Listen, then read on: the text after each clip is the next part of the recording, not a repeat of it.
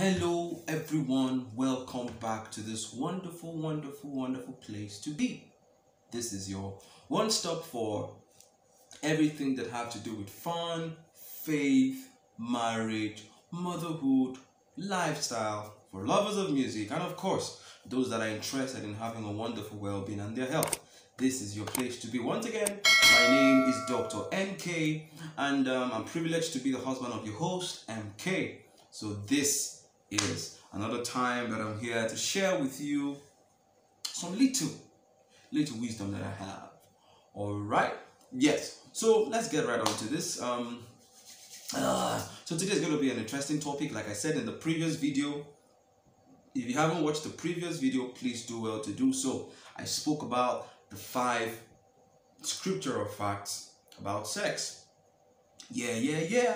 And I give you some medical backup and point. So along this video, okay, I'm going to be referencing to the previous video. So if you haven't seen that video, please do well to do so. So today, like I said in the previous video, I'm going to be talking about biblical facts on oral sex. Yes, and like I did last time, I'll try as much as possible to reduce my use of the word sex. I would use some intimacy, oral intimacy, or oral coitus, you know, oral intercourse. So things like that so that I don't really get much of um in quote YouTube red flags down here. Okay, so today we're gonna be doing uh, we're gonna be doing um, um interesting facts about oral intimacy. Okay. Now um before I start, I want us to really get something straight. yes, that sexual intercourse is good. Nobody's going to change that fact. Not you, not I. It is good, it is good, and one, and God loves us to have lots and lots of it. It is anything good that was created by God is meant to be enjoyed. That's number one fact you should know and put it down. Number two fact is this that the intercourse was made to be between a man and a woman. The Bible speaking in Genesis chapter 1, verse 27, he said, And he created them male and female. So any kind of intercourse you're having that is not between a man and a woman is a sin and it is um, it's dangerous and it is against biblical practice. Okay, so you know them, you know them. So if you have anything in your mind concerning that angle that gives you pleasure, please, you are not acting on scriptures. That is the number two fact that we should always remember while watching this series. The third thing I want you to always know is that intercourse was met was made by God to only be had or to only be enjoyed by a married man and a married woman. The Bible was speaking in Genesis chapter 2, I think verse 24. The Bible says, And a man shall leave his father and mother and cling to his wife. Right? And they shall become one flesh. Now, that one flesh there means they will come together and consummate. They become one in flesh, one in spiritual and body.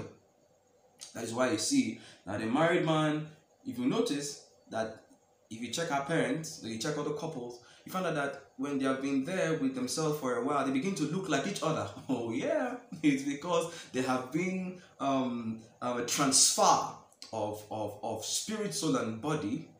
They have, they have been a transfer, a transfer of spirit. There have been a transfer of mind. There have been a transfer of a lot of things. Okay, so it makes them want to or somehow look alike. So those three facts should always be in your mind that whenever you're talking about anything that has to do with intercourse, it must be by it is good. You should always know that it is good. Number two, it was meant it was created to be enjoyed by a man and woman. And this man and woman must be married. Okay, so those three basic facts will help you so that you you ask some few questions. Now, if you know these three basic facts, you understand that anything that is done outside the context of marriage is a sin premarital um, intercourse, um, dating, and then having the show, they're all sins. They are not biblical, and anybody that's practicing it is committing sin. Okay, so back to the to the juice of the day. Now, is oral intercourse fine for married couple? Um, I'm going to answer this question in three ways. Okay, so that I don't really beat around the bush. Now, whenever you are talking about anything that has to do with intercourse, right? There are also three things that you should always remember. Okay? The first two applies to anything in life. Any decision you want to make in life, the first two applies to it. All right? The first two applies to it. Now, this is it. Number one, the question you need to ask yourself is Does God permit it? Oh, yes. If you're about to have sex, and about to do anything in the confines of intercourse, you must ask yourself Is it permissible by God? The second question you need to ask yourself is How do I put this? Is it beneficial to myself and to anyone around me? Yes. Apostle Paul was saying something in um, I think First Corinthians. I'll put the scripture. He said that everything is permissible to me, everything is lawful to me, but not everything is beneficial. Yes. So if I want to engage in this act, am I hurting my partner? Am I creating an emotional trauma? Am I am I oppressing the person? So you must answer that. And if the, the, the, the person receiving such a gesture is not going to enjoy it, then it is not good. You don't even need to enjoy giver to come and tell you, young man, stop it. It is absolutely not scriptural. So not everything that is permissible to you is beneficial to someone. And if it's so, then it is not right. If you want to put it in the context of business, you carry a business proposal, you give to the person. Is it beneficial to the person or are you trying to dupe the person? So you see, it applies to everything. So, so, so this first two point applies to everything in life. And you must always ask yourself the question Is it permissible by God and is it beneficial to the person I'm putting it up to? And then the third thing, this one here is particularly for coitus. It is, does it involve another person? The reason why I'm using this three point is so that to make my work less um, and I have less answers. I just want to try and see how I could join in so many things into the episode so that we don't really have much of this and then the points are being gotten at once. Is it does it involve another person? Bible speaking, he said um, the Bible says um, that um, marriage is good with the bed undefiled. Now, if you remember in Genesis chapter 2, the Bible says a man shall leave his man, a man shall leave his father and leave his mother and cling to his wife, and they shall become one. The context of intercourse, the context of coitus union was meant to be enjoyed by just two partners. Any other third party is a sin. Oh, yes. So, if you get what I'm saying, you would understand that pornography is a sin. Because it just it doesn't really involve. In fact, I didn't even see it this way until a few hours ago when I was looking into this. I, I, I, I now I now ask myself, that means in pornography, there is a third party. You have a lot of questions about pornography, right? Maybe I should just do a different video about that. I, I think it's it's but but just get the concept right. It involves another party, even if the person is not physically there, but there's another party involved in that agenda. So it is not scripturally right. Okay, so those three factors would actually guide you on the basis of intercourse. Okay, so now, you might be telling me, Baba, don't, don't stop jumping, just stop jumping, stop jumping, give us the juice. Okay, here is it. Is oral intercourse a sin? Now, the first let me let me answer the question with the first point. Is it permissible by God? Hmm. Although there was no scripture in the Bible that actually explicitly said, have you do not have oral intercourse. Although there was no scripture like that. But I'm going to be bringing to you two veiled scriptures, two scriptures that, um, in quote, they are like in a, a balloon. Okay?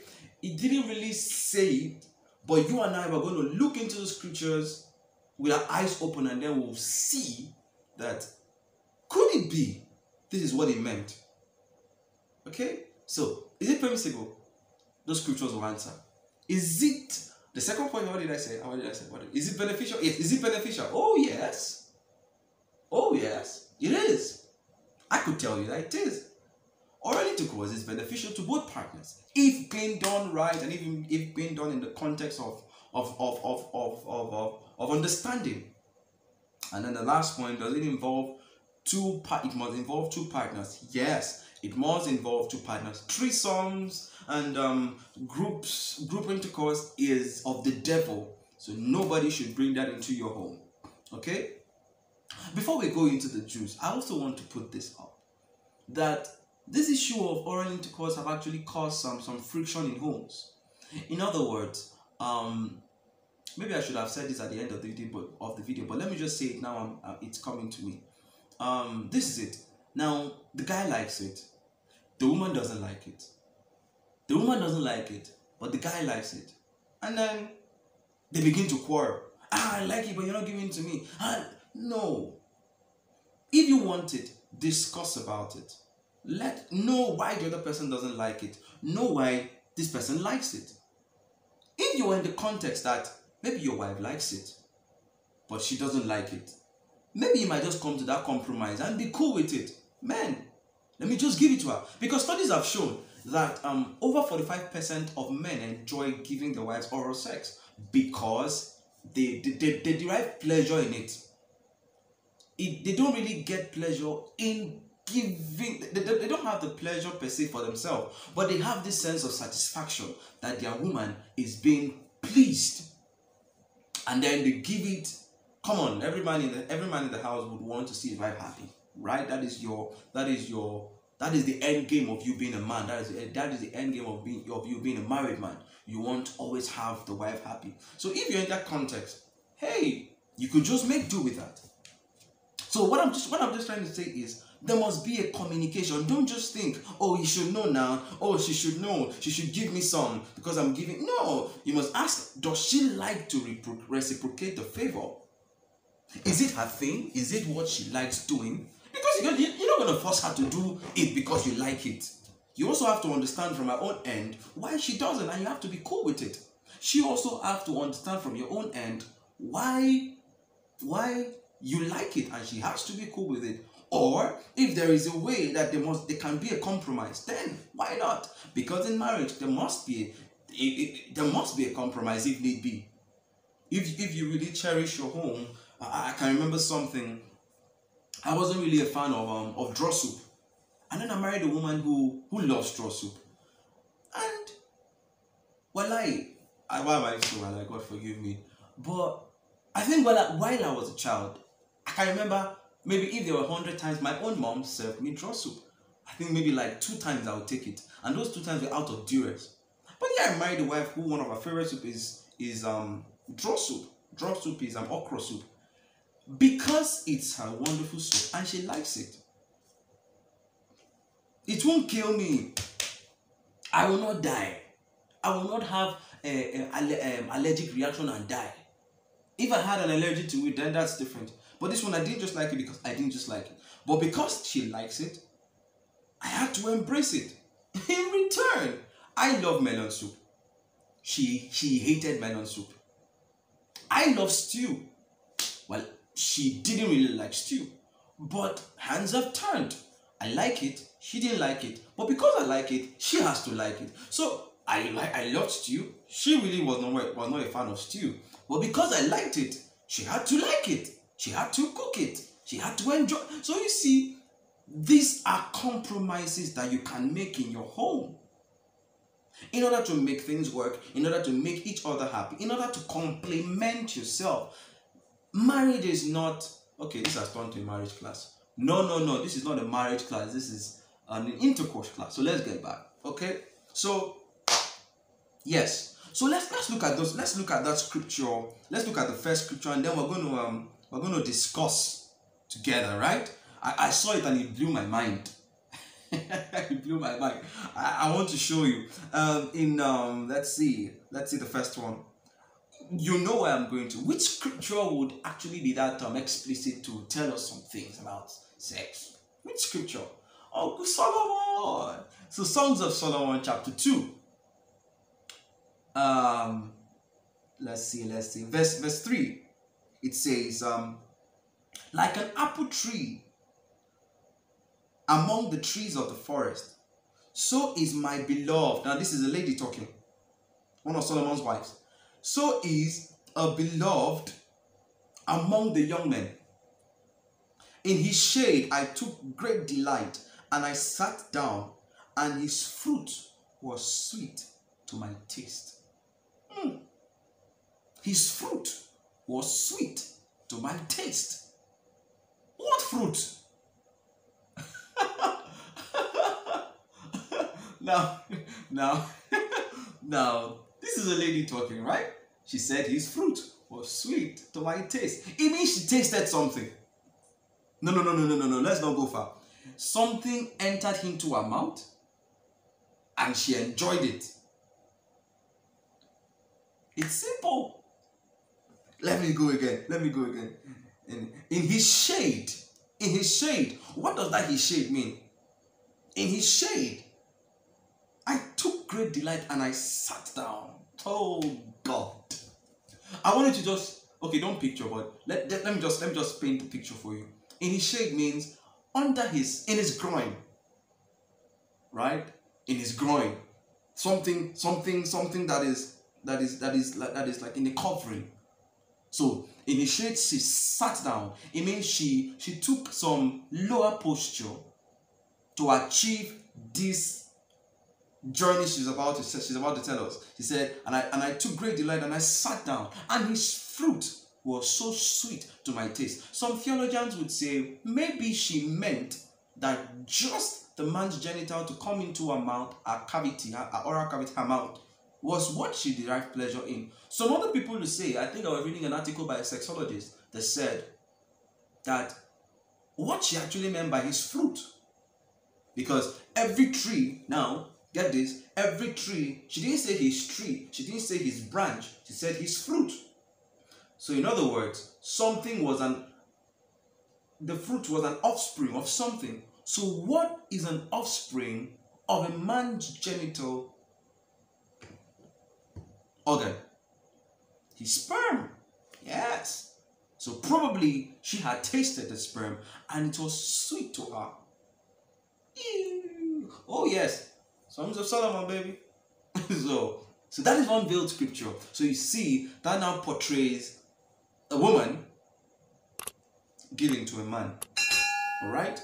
And because there is no explicit um, um, um, drawbacks on it in scripture, I could actually say that God placed that scripture there to show us that it is possible or it is permissible that oral intercourse is not a sin. Because because um, if it was there should have been an explicit um, um, antagonism on this. Right? There is a there has been an explicit antagonism on on um, on um, sex before marriage. There have been an explicit antagonism on on um, on um, sex with someone who is not your partner. Sex outside marriage intercourse with you know so there have been antagonism on the issues of sex that concern us.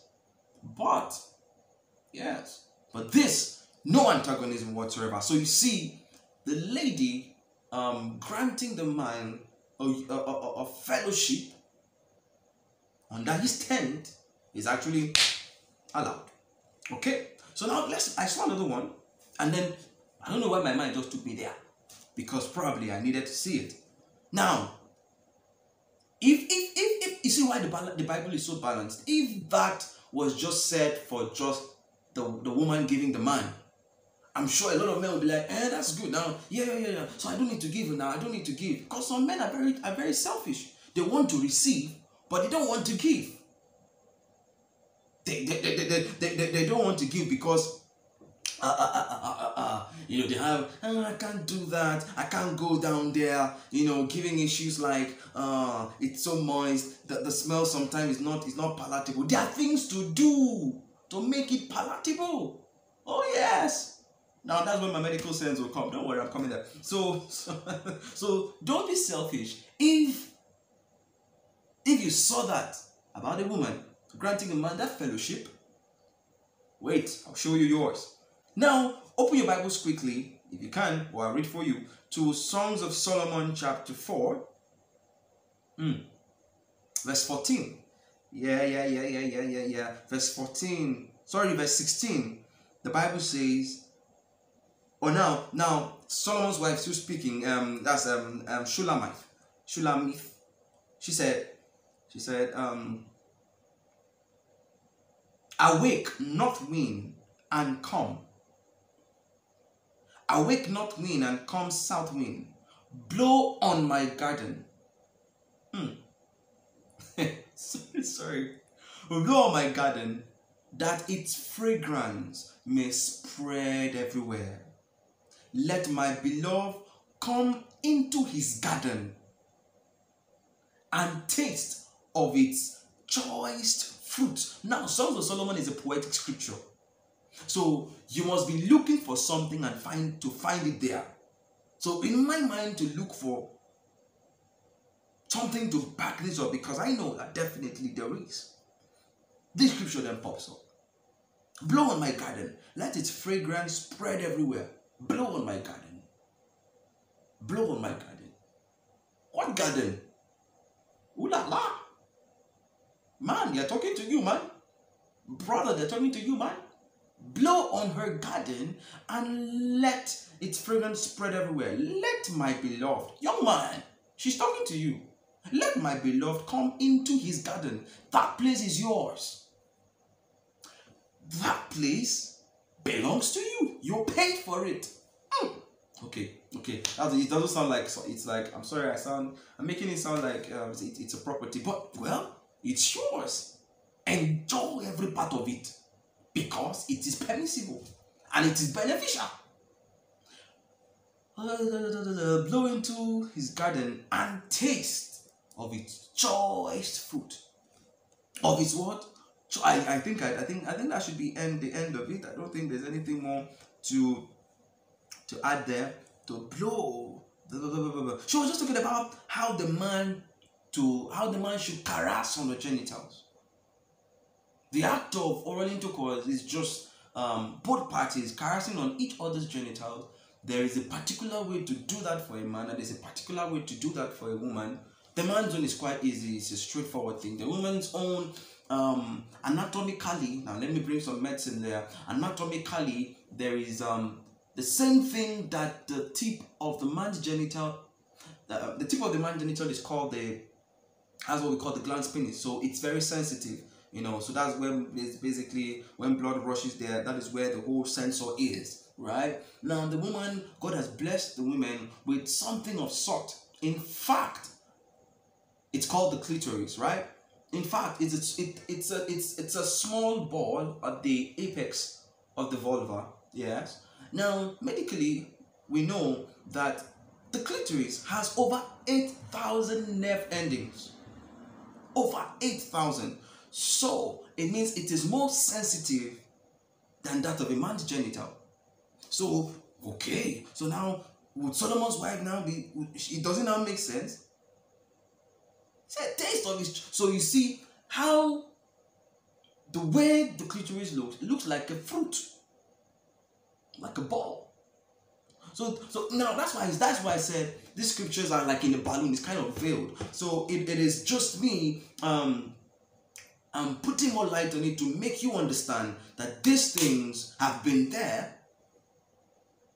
And since there are no scriptural antagonism on it, they are permissible. And looking at it theoretically, you find out that there is no, um, there is nothing wrong. And look at it from the light of scripture. These things are right. Okay? Now, now, what are what are the things? What are the uh, uh, uh, and, and why this topic is actually important is this. You know, for for we believers, we are we are guided by a lot of morals, a lot of morals that makes um, us to make some decisions based on scripture, which is perfect, which is wonderful. So you see things like this, since they are not explicit, explicitly written in scriptures out for us to follow, we may we may hurriedly take it as not permissible. The act doesn't look holy, in quote, you know, it doesn't look holy. And uh, so that's why such uh, such a video, I, I'm, I'm prompted to make such videos like this to help, you know, old and young couples to understand that um, this thing is good.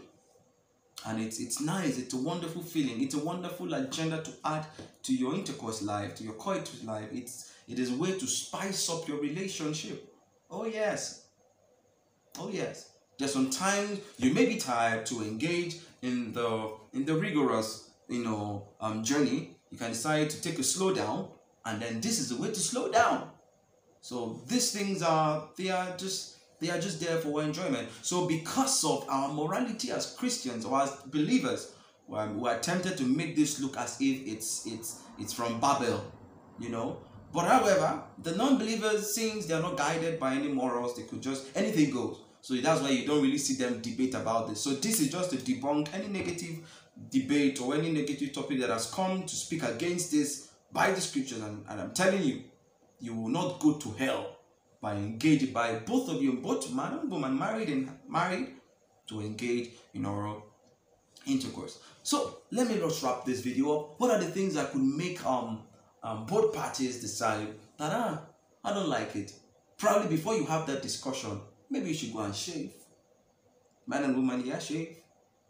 As a lady or as a man, if you feel that down there sorry, this is now me talking to the ladies. If you feel that he doesn't want to come down there because um, the order is the order is offensive, there is a pessary that we call um, is it fem family family family family family yeah it, it dissolves fast and it gives you a wonderful smell out so if you're not comfortable with your smell man man maybe maybe that you should work you should work with that and um, also keep good hygiene because hygiene also is paramount.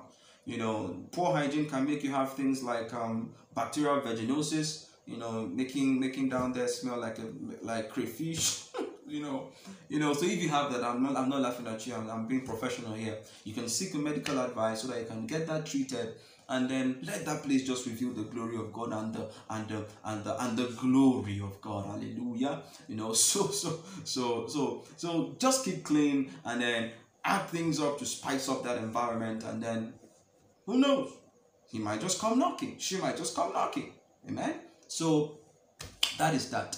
And then you want to know the benefit of, of oral intercourse, refer to my previous video. It's going to be the same benefit of sexual intercourse. Anything that has to do with ejaculation and then reaching your reaching your, your climax is um, would have almost the same benefits. You know, and um, anything that has to do with intercourse remember like i gave you an instance i said one of the benefits of um of sexual intercourse is um, it generates bond and i gave you that instance i said there's one there's one and there's one hormone called oxytocin you know it it, it creates um it creates um a bond between both parties by the time the man has climaxed, by the time the woman has climaxed, both parties release oxytocin. Oxytocin is a hormone, is we call it the love hormone. So it sparks up your intimacy life, makes you to become one together.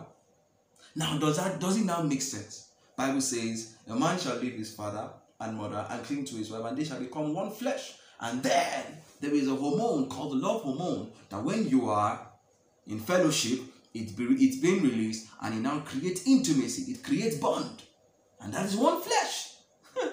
oh, sense will not kill me. Sense will not kill me.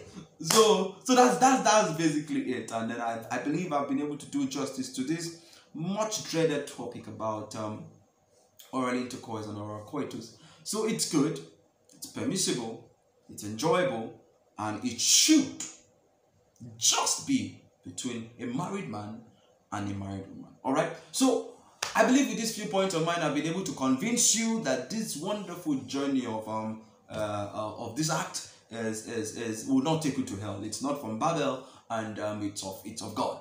Okay, and um, um I believe that I've I've been able to help one or two couple out there to um, spice up their their the sexual life.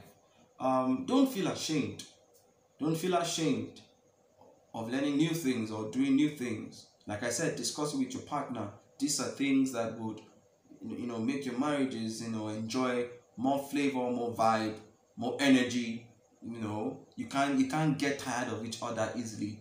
As in, in, in normal sense, except your village people are worrying you. but, but forget about what I just said. But ideally, you shouldn't these are the, these are the things that, that, that create a bond that makes you guys fond of each other that you will always crave to see her naked to see him naked and um, to just enjoy yourself okay so i believe i've been able to help and um, um, i want to ask for your permission i won't be on your screen for the next two weeks um, i have some things to sort out personal things to sort out but we're, we're going to continue the series and uh, i think i should talk about um, I think I should talk about the pornography in a married home. Yes, is pornography right for a married couple? I, I gave you a hint already, but I'm just going to um, elaborate more on next video. Okay, is pornography for married couple? Alright, so till I come your way next time. Thank you, thank you, thank you, thank you so much. I want to once again thank all our subscribers who has gotten us up to a 1000. We love you, I love you, and I always want to see you here with us. So till I come your way next time, remain blessed. God bless you and everything that you do. Cheers.